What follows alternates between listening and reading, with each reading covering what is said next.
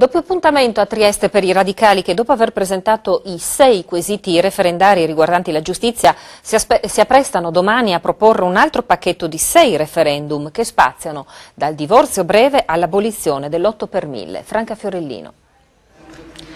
Slogan efficaci per lanciare i 12 quesiti referendari che i radicali proporranno in questi giorni a Trieste.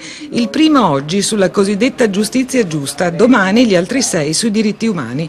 A presentare i referendum Marco Gentili, responsabile triestino dei radicali. Si è parlato della responsabilità civile dei magistrati, della separazione delle carriere e magistrati fuori ruolo, del no deciso all'abuso della custodia cautelare e dell'abolizione dell'ergastolo. Il timore che dopo le defezioni adesione dei cittadini alle ultime elezioni al referendum si possa non raggiungere il quorum. Quando il Parlamento eh, non interviene è un dovere dei cittadini in qualche modo firmare per proporre queste riforme.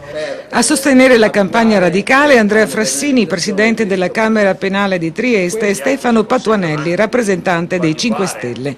Ai quesiti sulla giustizia giusta si affiancano quelli sulla droga, per cui si chiede di evitare il carcere per fatti di lieve entità.